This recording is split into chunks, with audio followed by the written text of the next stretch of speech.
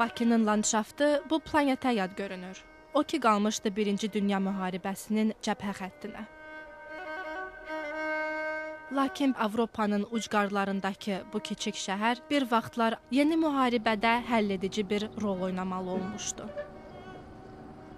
Və Bakının qara qızılı dünyanın silahlı qüvvələrini Azərbaycanın sahillərinə gətirdi.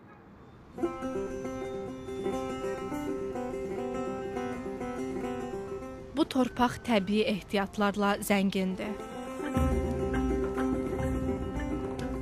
Neftin çıxdığı yerlərdə torpaq alovlanır.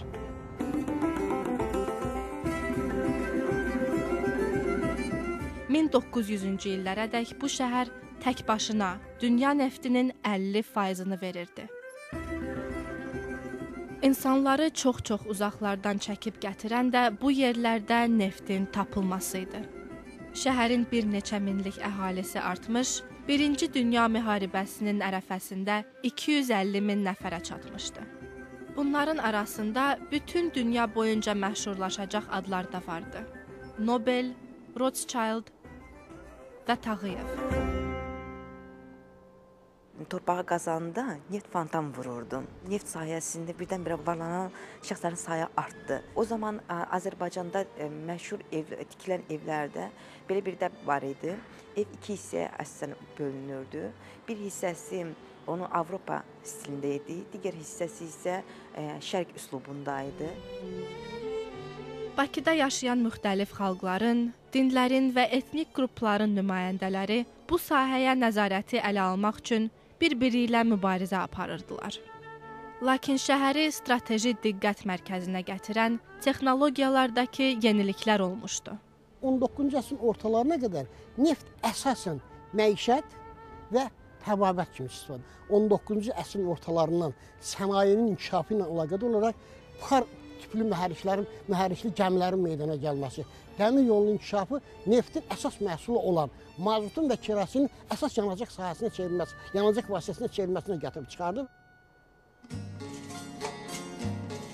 Böyüyən şəhər az sonra dörd bir yandan hücumlara məruz qalacaqdı.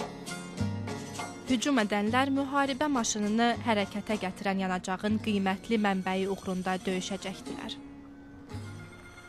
Son xəbərlər məni Bakıya bir də getməyə məcbur edir. Yubanmadan Bakıya özümüzü çatdırsaq, şəhərin və neft quyularının türklərin və almanların əlinə keçməsinin qarşısını ala bilərik. 1918-ci ildə baş vermiş Bakı uğrunda döyüşdə şəhər boyunca dünyanın böyük gücləri vuruşurdular. Bütün Avropada hərbi əməliyyatların dayandırılması qərarı sanki buralara çatmamış kimi münaqişə davam edirdi. 1917-ci ildə Rusiya imperiyasının çökməsindən doğan təlatümdə Azərbaycan qısa, 2 illik müstəqillik qazana bilmişdi. Lakin 1920-ci ildə neft artıq Sovetlərin ixtiyarında idi. Müharibələr necə aparılır? İnsanlar nəyin uğrunda vuruşurlar? 100 il öncə burada baş verənlər bu sualların cavablarını əbədilik dəyişdirdi.